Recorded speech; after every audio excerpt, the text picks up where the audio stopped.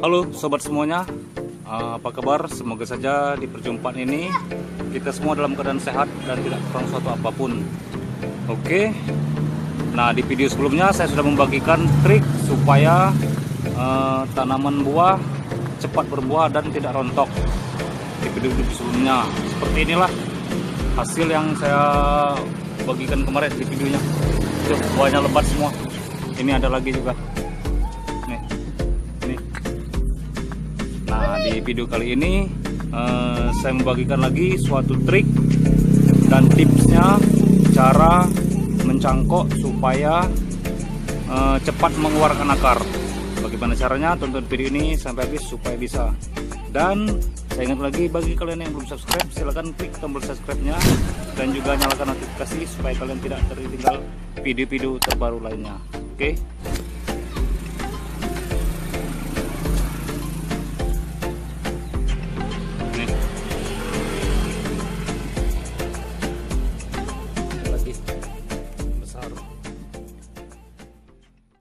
Oke, sobat semuanya. Nah, saat e, mencangkok ini, tipsnya pilihlah e, cabang pohon ini yang sudah tua. Seperti ini, biarpun dia kecil tapi dia tua.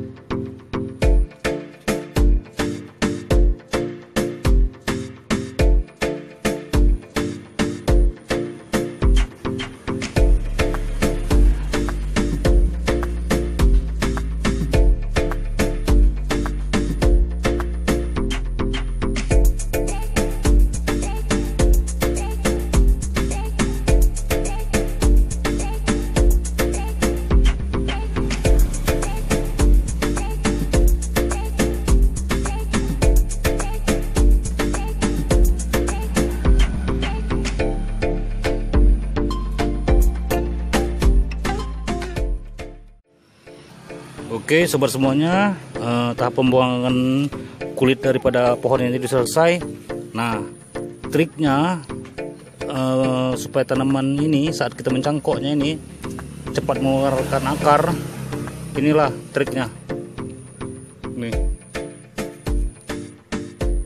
Nah sebelum dia ini dicangkok sebelum dia di menggunakan tanah di seputaran ini ini dioleskan dulu ini.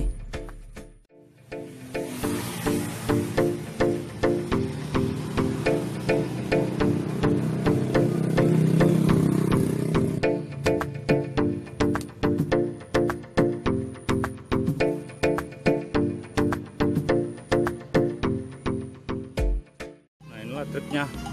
Supaya cepat mengeluarkan akar ini dipotong dua. Dipotong dua lalu setelah dipotong dua seperti ini di bagian kayunya ini dioleskan ini. Dioleskan.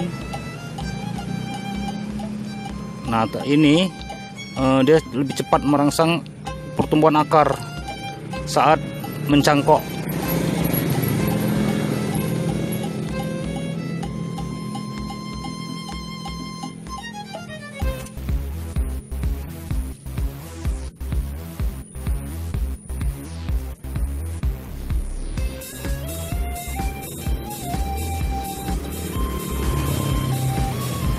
Nah setelah dioleskan ini baru kemudian dibalut menggunakan plastik yang diisi tanah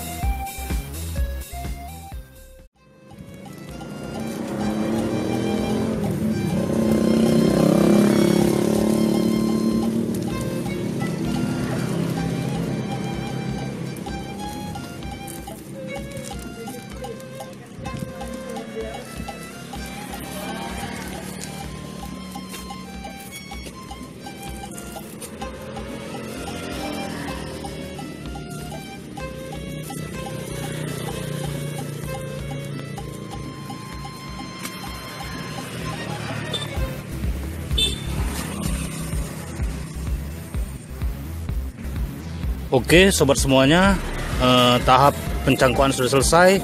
Nah saat uh, pembuatan ini nanti jangan lupa memberikan lubang beberapa lubang sini di samping di bawah ataupun di atasnya supaya ini uh, kalau ada air dia lebih cepat meresap ke bagian tanahnya ini.